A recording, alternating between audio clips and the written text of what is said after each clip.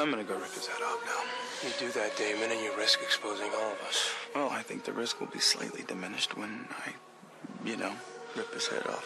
Stefan, I'm losing it. You have 10 seconds before I go old fashioned on the new guy. Don't do it, Damon, please. Three, two, one. Wait, wait, wait, wait, wait. Elena, feed from me.